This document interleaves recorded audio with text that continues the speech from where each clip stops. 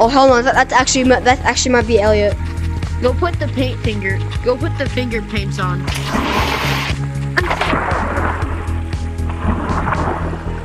Are you I'm on a wearing friend's account, or- guys. You're not a friend? Oh, you on J-Man's account? Uh-huh. Yeah, guys, I'm on J-Man's account. Wait, well, J-Man has a badge as well.